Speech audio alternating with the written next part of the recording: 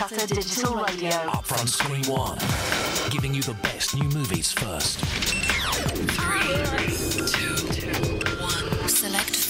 Choice. Julie and Saffron went to see Man on the Moon with Jim Carrey, Danny DeVito, and Courtney Love. Input reaction. So, Man on the Moon was the story of Andy Kaufman's life. It was an excellent film. It's starring Jim Carrey, definitely one of his better. Accessing audio files. Completely loved this film. I give it 9 out of 10. I did too. I give it 9 out of 10. Join Julie and Saffron again this time next Friday when we're taking a look at another big movie on Upfront Screen 1. Cost Cutter Digital Radio. Upfront Screen One, giving you the best new movies first. Now, isn't that clever?